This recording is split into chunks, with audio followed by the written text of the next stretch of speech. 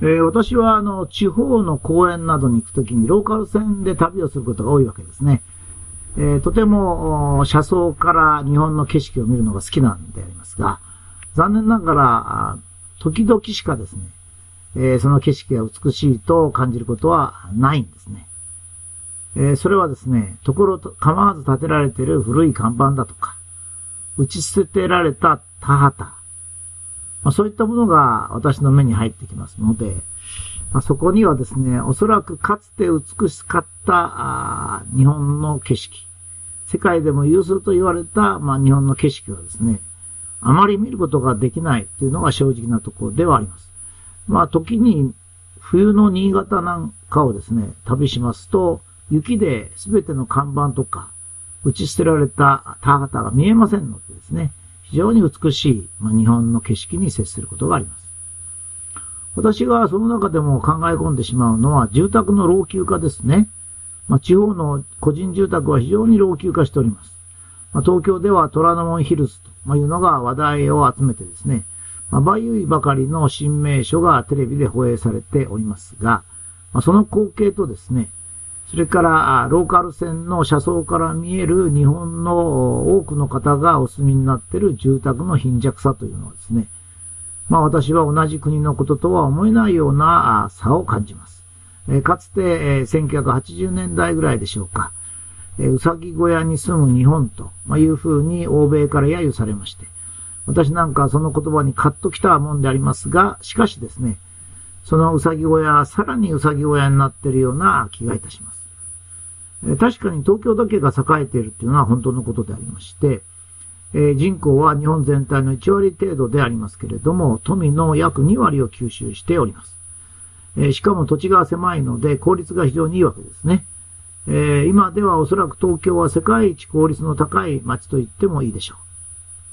う。えそこに、えちょっと前までは考えられなかったような超高層ビルが林立しまして、まあ、その中はまるでかつての宮殿のような装飾と豪華なレストランが並んでおります。客のほとんどはサラリーマンと若い女性であります。え、そこで交わされる話題はですね、ああ、もう何もいらないね。素晴らしいもんね、ここも。生活するのに十分だ。というようなことでありまして、これから心の時代だねと。環境が大切だよ。まあ、自然と接するために、えー、次はみんなの島に行こうか。みんなで。あそこはすごいよ、パイナップル畑が延々と続いているからね、と。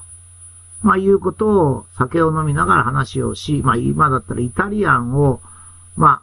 あ、女性と共に食べながらってことになるんですかね。夜の11時になりますと終電に乗って家路に着くわけです。まあ、しかし、まあ、自然というならですね、日本の地方に行けばいくらでも自然はありますし、田んぼも延々と続いております。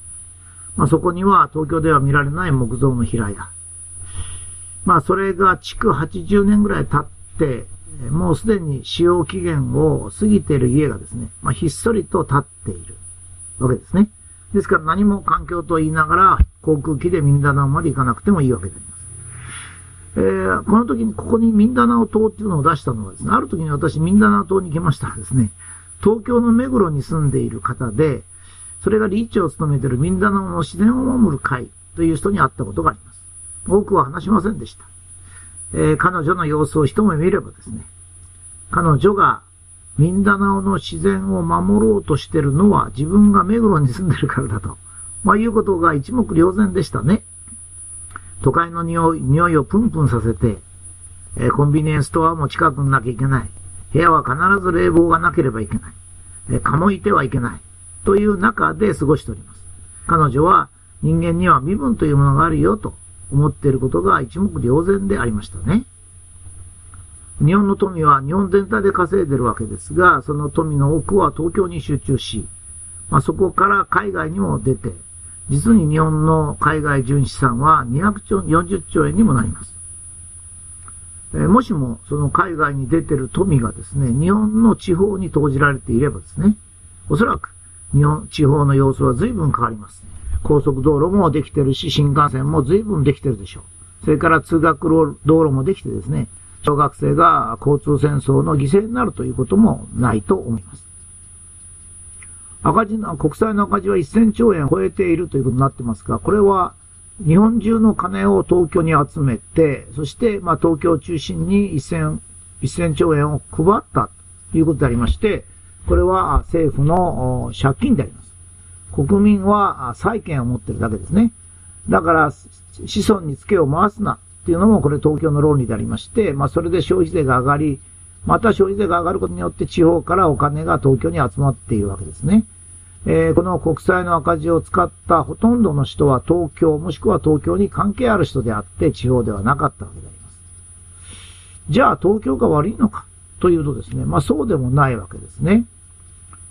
えー、狭い日本ですからね、東京ばかりでなく、いわゆる地方、過疎地という土地もですね、有効に使わなければ日本の価値が出ないのは誰でも知っておりますが、それでも東京にお金が集まり、東京が栄えるのはですね、東京自体に原因があるわけじゃなくて、私はね、こう言うと地方の人からかなりの反発を受けると思うんですが、地方の人の気力の低下ではないかと思うんですね。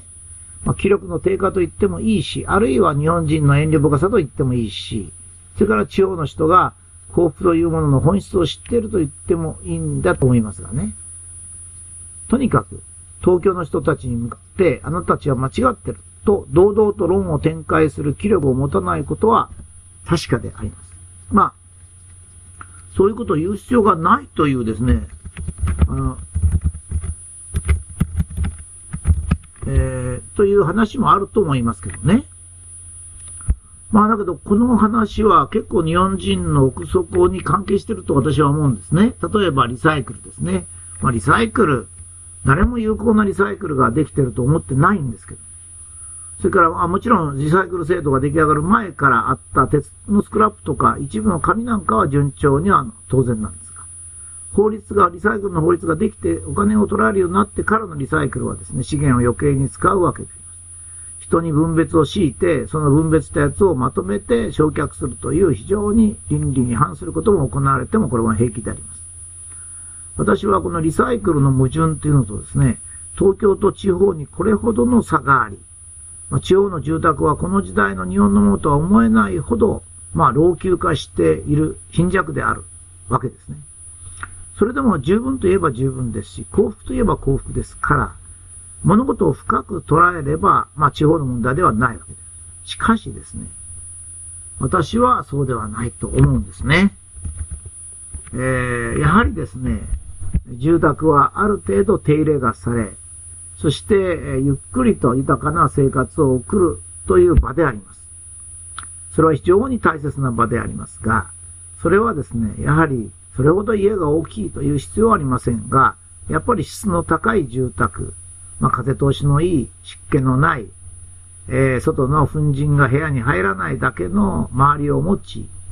そして、えー、ある、ある意味では眺めもある程度確保されている。まあ、そういう住宅にですね、多くの日本人が住むということは、東京になんとかヒルズを作るより数倍日本にとって重要なことではないかと思いますね。私は日本が繁栄してるだの、えー、消費税を取るだの言ってるんですが、やはりですね、私は、あ車窓から見る日本の住宅というものはですね、日本の現在の世界の、